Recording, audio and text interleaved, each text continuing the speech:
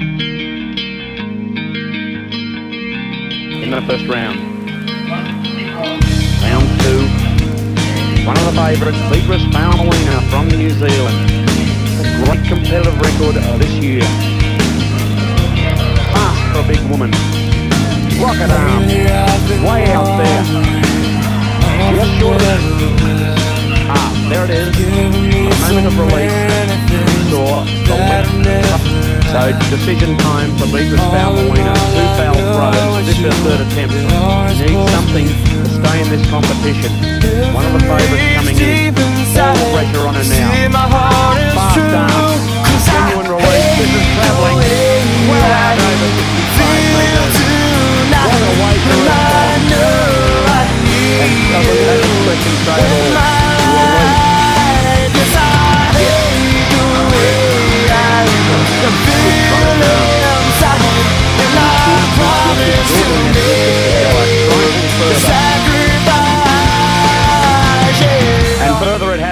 66-82. Beatrice Faumuina is in the lead. The event leader, her final throw. But a formality. Puts it out with a big smile on her face. The intensity wasn't there. She won't worry about that. It was out of sector. And she waves to the crowd. New Zealand have their first gold medal.